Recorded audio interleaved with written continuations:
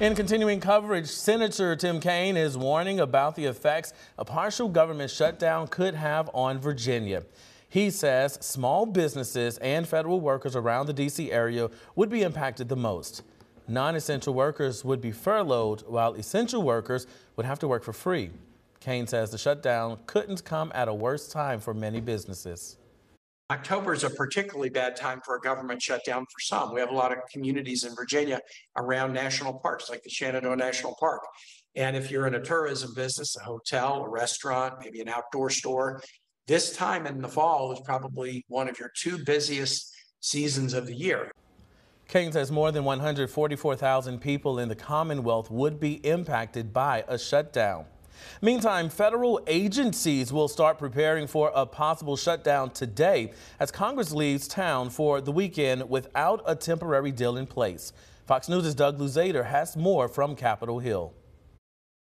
A shutdown now seems to be the likely outcome here with just a week to go and no viable path for an agreement.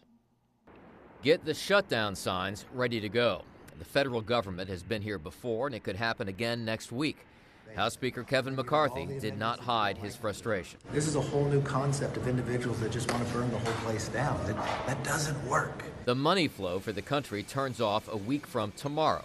The federal agencies will soon start bracing for what would be a partial shutdown, closing many federal offices and sending non essential federal workers home. About the best chance to avoid that now is a stopgap spending deal called a Continuing Resolution, or CR.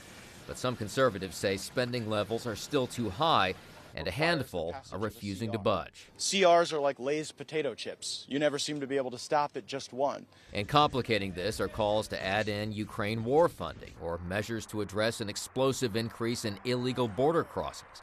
Democrats, meantime, won't consider cuts, and the White House so is blaming Jay. Republicans. This is not for us to fix. This is for House Republicans to fix, the extreme House Republicans. This is on them. Now, the House isn't scheduled to come back to work until Tuesday, but everyone has been told to be prepared to return here to Washington if there is some kind of a deal. In Washington, I'm Doug Luzader, Fox News.